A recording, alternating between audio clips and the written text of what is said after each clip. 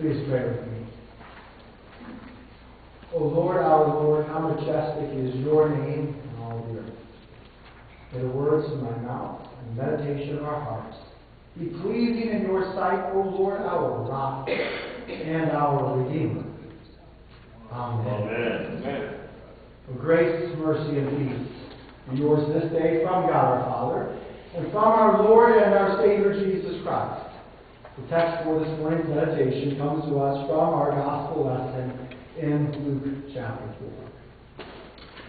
Hogan's Heroes was a television show dedicated to showing how a captured group of individuals was able to inflict harm upon the Germans from inside the camp.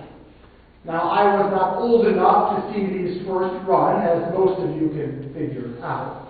But obviously, seeing the show, quite humorous understanding of what takes place as they try to outwit the somewhat less intelligent German officers. Now, of course, if you watched the show, you know that it's absolutely nothing compared to what it's actually like, apparently, to be held captive in a war. I stumbled upon a group called the Barnabas Group, and they discussed that very thing. How many individuals will say how tough and difficult it is to actually be behind enemy lines and not know what's taking place. Constantly worried day to day about whether or not you're going to be alive the next day or not. Being told news about the war, but not sure if it's actually the truth all kinds of, of, spiritual oppression and bodily harm, as well as the, the, the, mental understanding of it all, constantly being worried and in fear, while at the same time struggling with the fact that while you are sitting in prison, not being able to help or assist, your brothers and sisters are fighting for you in the battle. They may be winning, they may be losing, but you don't know. But many of them are losing their life while you are sitting helpless. You're just yearning, wondering if you'll ever be set free. Like I said, I can't imagine what that would be like. But maybe that sets the tone for us to hear Jesus' words when he says, I've come to set the captives free. Or maybe a better understanding of liberty in this text is not to bring liberty, but release for those who are imprisoned. Isn't that a great picture? Of those who, who feel like they have absolutely nothing at all. But Jesus comes to release us permanently, forever. But unfortunately, the kind of tone that Jesus has received when he proclaims this is not the kind of tone that you might expect. For he is in quite a precarious situation as he comes to his hometown. He's going to have wonderful news of proclaiming the words to the people who are captives, but the problem is these people don't want to be free. They want signs. They want wonders. They want to know about everything that Jesus did before, how uh, everything they've heard about that has taken place, they want to have happen here and now. Now, we don't exactly hear in Luke's gospel about Capernaum, but if you look at Mark, Mark tells us everything that takes place that gets his hometown's attention. As you can imagine, Jesus waltzes into the synagogue and starts proclaiming God's word, and immediately the people are amazed. In fact, they say he teaches as one who has authority even greater than the Pharisees, the Sadducees, and the scribes, the people who are normally there. Now, after this is over, he immediately then casts out a demon, and the people are marveled by all of this. Then he goes and heals people of their illnesses, their diseases. Uh, those who are, who, are deaf all of a sudden hear and mute speak and all the things that know Jesus does. Then he travels to a house, and the, the crowds now are completely surrounding Jesus. This is very important because the word is getting out. Everybody wants to know what this Jesus is about. The house is so jam packed that people are lined up outside of the house just so they can get a glimpse and he maybe even hear uh, what he has to say. But then there's this, this, this man who, who can't walk. He's lifted up by his buddies on top of a roof. They, they open up the house, they peel back the tiles, and then they lower him down. I mean, great moment in the Gospel of Mark. But what does Jesus say? He doesn't say, get up and walk. Not at first. He says, Sir, your sins are forgiven.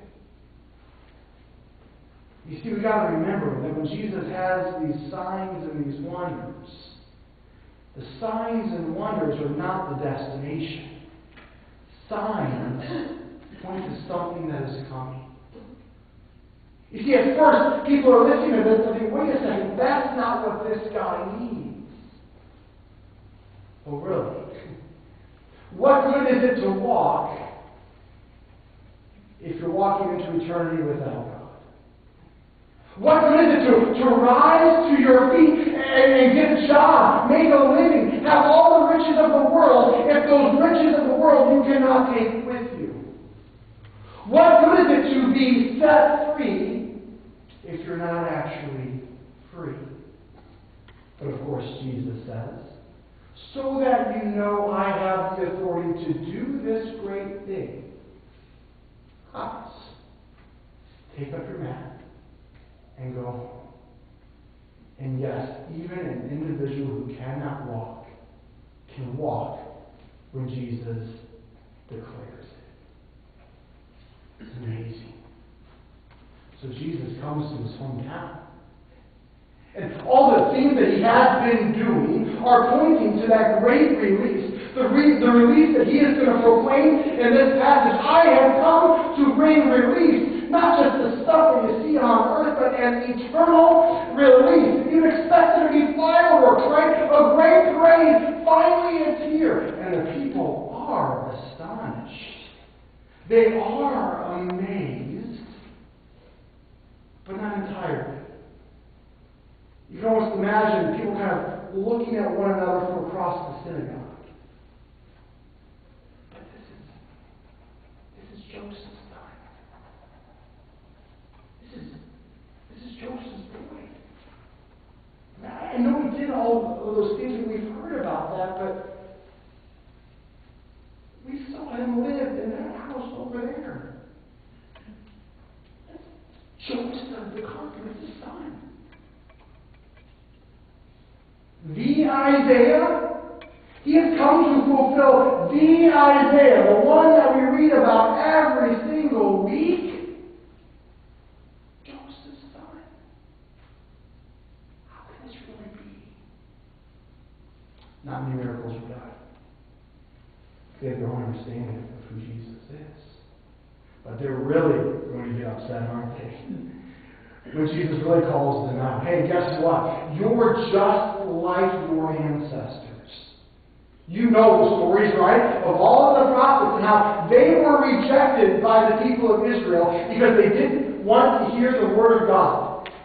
Elijah was rejected, so he went to a, Gentile. Elisha was rejected, so he went to a Gentile. Guess what? You're rejecting God's word in me, and guess what? The promise is going to go to the Gentiles as well. And the people are fuming. They are so angry. They are so frustrated. They are so mad. They take them up to throw them off a cliff. And the very sign that they were looking for, the very miracle that they were hoping to see to prove that this son of a carpenter actually was the Christ, they miss. As Jesus just somehow slips through their fingers. It's kind of interesting, isn't it?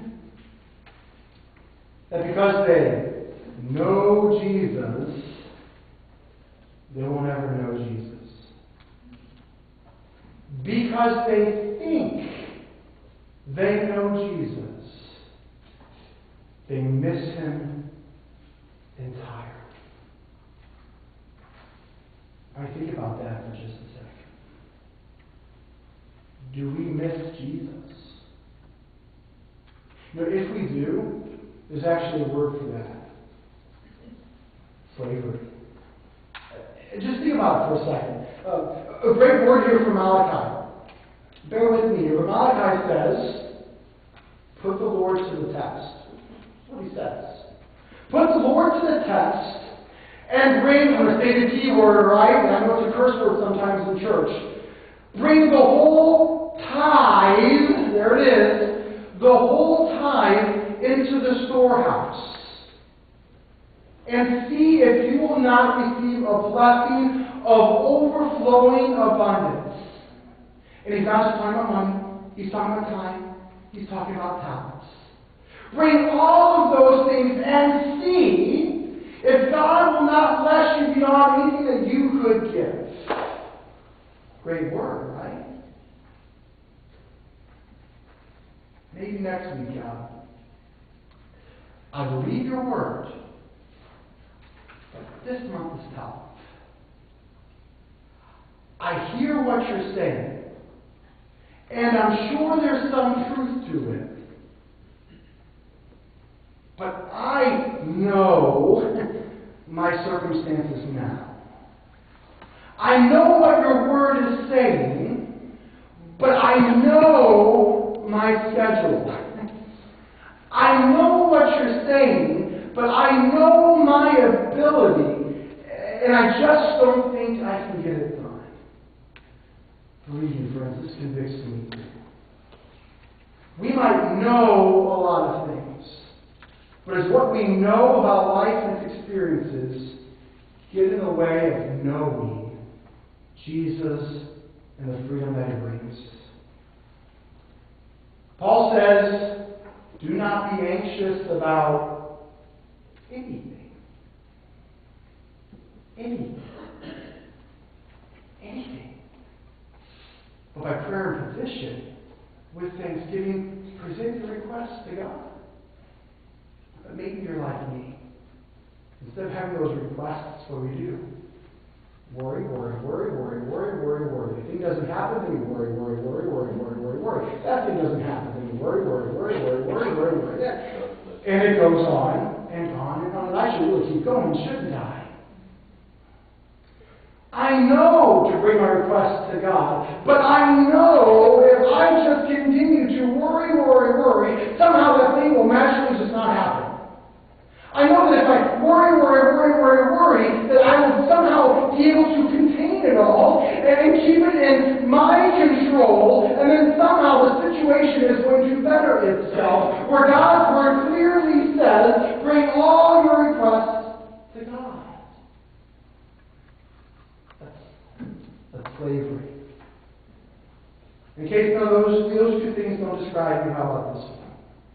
All throughout the Old Testament, God says, do what is right, so that it may be well with you. I mean, what those commandments are. You know what His law states. But I also know that I might have a little enjoyment if I do this. What's it really going to hurt? What does it really matter? From what I know, it doesn't seem to have done much before. So I know I'll be okay now.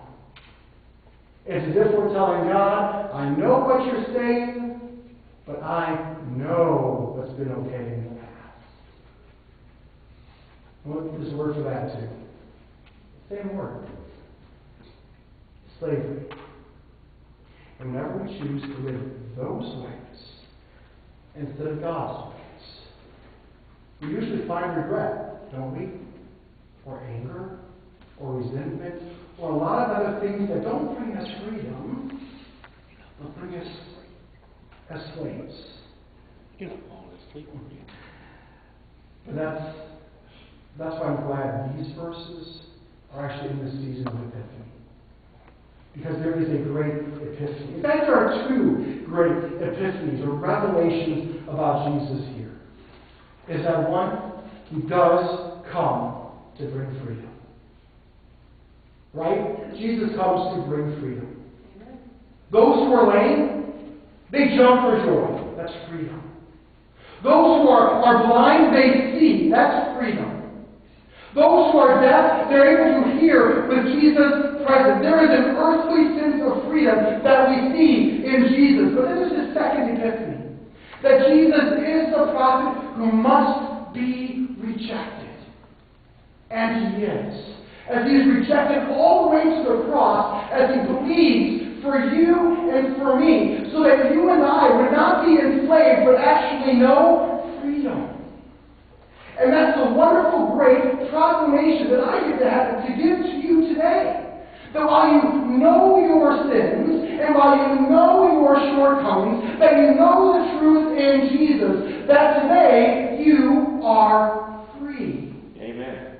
Or as Jesus says, if the Son has set you free, you are free indeed.